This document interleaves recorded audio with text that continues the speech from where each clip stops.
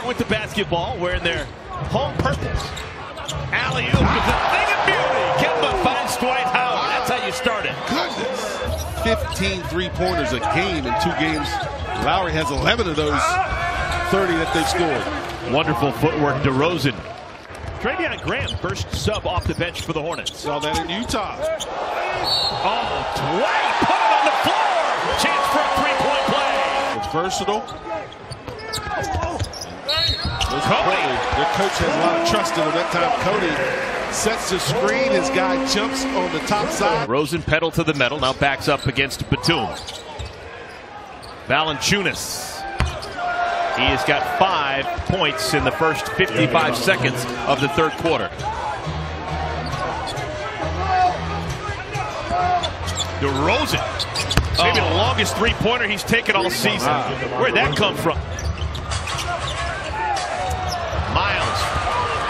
Front of the.